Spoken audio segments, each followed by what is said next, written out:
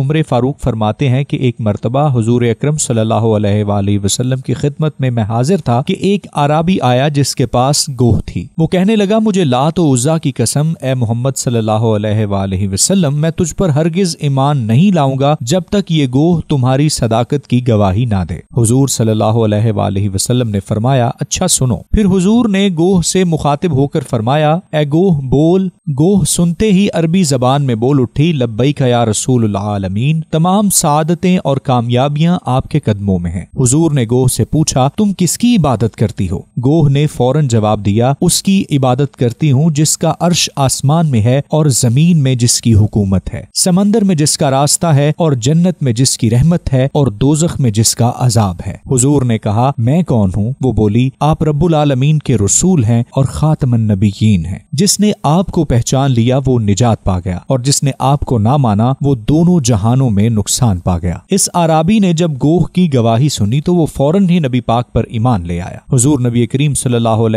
वसल्लम की सदाकत और अजमत का इकरार और आपके खातमन नबीयीन होने का इल्म जानवरों को भी है। फिर भी जो शख्स नबी पाक सल्लल्लाहु की अजमत और खत्म नबूवत पे शक करे, उससे बढ़कर बदनसीब और गुमराह कौन होगा?